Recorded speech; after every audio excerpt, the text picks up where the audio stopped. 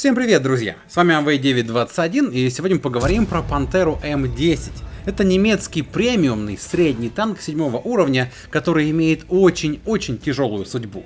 Дело в том, что во все времена своей жизни он был настолько плох, насколько даже не хватит моих слов это описать. И в патче 9.17.1, это было уже довольно давно, его апнули. И в этом видео мы разберемся, как он сейчас, что в нем есть, ну и в очередной раз э, придем к мысли, стоит ли рассматривать для покупки премы седьмого уровня. Они недорогие, данные стоят 5750 в голды, но стоит ли он того? Вот в чем вопрос. Если вы не знали, у машины есть интересная деталь. Во-первых, ее цвет американский, и как же так, это вроде бы немецкая машина. Дело в том, что исторически пытались замаскировать Пантеру под М10, чтобы использовать это в боевом преимуществе.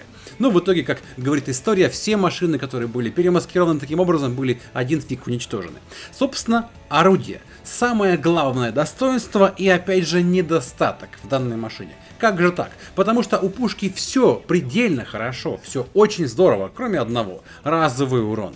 Копеечные 135, и с этим жить очень тяжело. Мало того, она ни черта еще и не пробивает ББшками, голдой там хотя бы. Но как только дело касается с кем-нибудь разменяться или с танком выше по уровню, то ты точно понимаешь, что это вообще история не про тебя. Никакого счастья и радости здесь уже не ждет. Вообще, если немножко абстрагироваться, то мне достаточно сложно про данную машину вам рассказать объективно, потому что э, у меня с ней довольно длительная история знакомства. Я помню ее, когда она была прям совсем откровенным дерьмом. И э, настроение немножко как бы изначально уже не про счастье и радость. Потому что я помню, насколько этот танк был тяжел.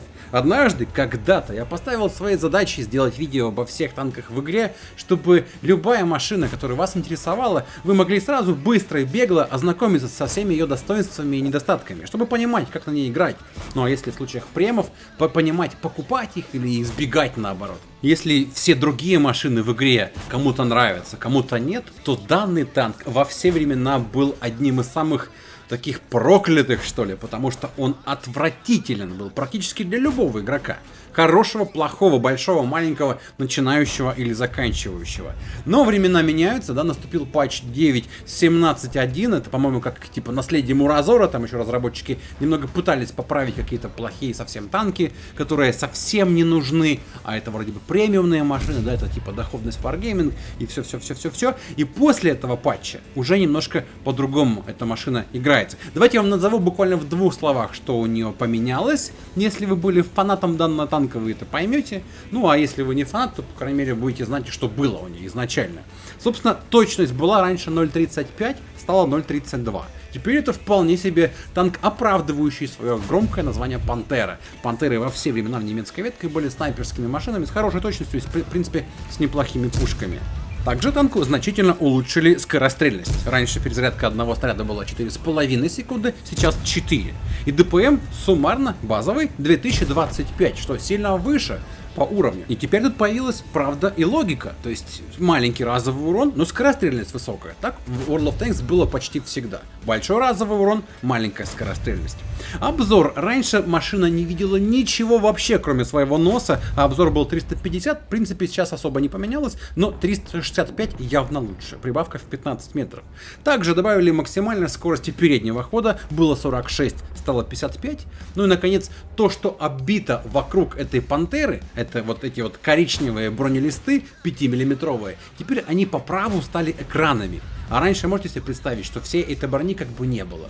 Ну и она нарисована, визуально ты ее видишь в игре, но она урон не принимает, не танкует, и само собой под ней, как бы под всей этой мишурой, скрыта просто пантера. Итого, значит, что с этой машиной стало? Неплохо, в принципе, разгоняется, если с горочки и едет довольно быстро. Например, в начале этого боя я в лесу на Мураванке чуть было не откис, потому что слишком много врагов прорвалось. И хорошая максималочка, и в целом удельная мощность, которая была базовая, там чуть за 15 лошадей на тонну, дала мне возможности убежать.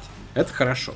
Как только убежал, открывается возможность вести более-менее точный прицельный огонь по всем, с точностью 0.32. Мало того, ПТшки и стабилизации ведь еще целую кучу наворотили. Ей уменьшили разброс от поворота башни, от поворота корпуса, даже разброс после выстрела. Я не случайно данный средний танк назвал ПТшкой, потому что играется этот средний танк именно как ПТшка. У нас нету одного сейчас, и этого не добавили, как бы там экранами нас не обмазывали, нету брони. Практически в любое место, куда бы нам не выстрелили противники, нас пробивают. Будь то маска, корпус, верхний бронелист, нижний и так далее. По, по смыслу, да, это та же самая обычная пантера, и все на них играли и помнят, что ну невозможно танковать на пантере практически ничего, кроме каких-нибудь там пятых уровней, которых мы довольно редко видим. Все остальное нас пробивает, и поэтому размениваться или каким-то образом быть в прицеле у врага нам нужно стараться делать этого меньше. Чем больше дистанция, тем лучше для нас, по крайней мере, безопасней. И где-то мы можем, если хотя бы попасть, то уже хоть как-то быть полезны. Интересная история у данной СТшки с процентом побед, потому что изначально он был 49,5, э, что в принципе довольно много для ее ТТХ, те, которые были, потому что раньше ПТ не было вообще ничего, плохое пробитие, маленький разовый урон, она еще не ехала раньше, стабилизации не было никакой, после каждого выстрела тебе еще нужно было досвестись, что вообще парализовало полностью стрельбу и все возможности вести огонь на дальней дистанции, и винрейт 49,5 это много. Потому что будь такой танк прокачиваемым, и на нем играли бы обычные игроки, мы бы увидели здесь и 47, наверное, даже, наверное, и 46% побед. Потому что выигрывать на ней, это прям, ну, подвиг. Это прям, вот, знаешь, танк для джедая, когда ты только силой джедая и магией какой-то можешь выигрывать. ТТХшками, пульками, броней, со своим обзором, ну, слабо можно как-то повлиять.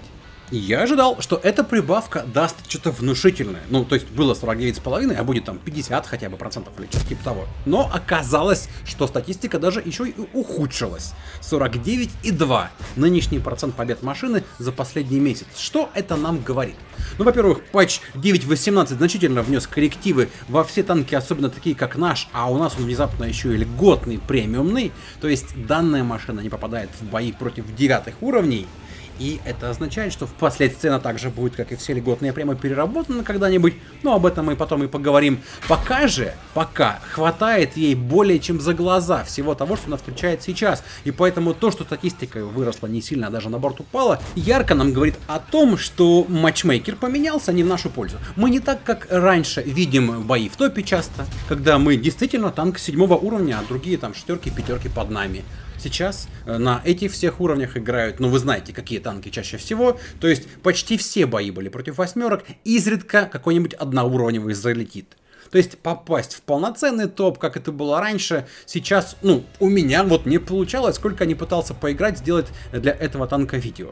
И одновременно с этим еще и сложность. Как выигрывать, как настреливать, как каким-то образом выделиться, например, на поле боя. Вот, взять хотя бы тот бой на, на Мураванке, закончился он тем, что просто мы со Скорпионом, ну, понимали, что мы выезжаем и умираем, нас высвечивается пилот хоть как, и ждали их атаки. Ждали 3 минуты. Атаки так и не случилось, закончилось ничьей. Нельзя на этом танке выехать вперед и подумать, что я сейчас кого-нибудь подсвечу, а еще лучше засвечу, еще и перестреляю. Когда у всех разовые уроны там на 8-7 уровнях значительно выше, чем наши уколы эти китайского иглоукалывания 135 альфы, конечно, против ни никого мы не выстоим, да? Любой танк нас ушатает, только на удачу играть.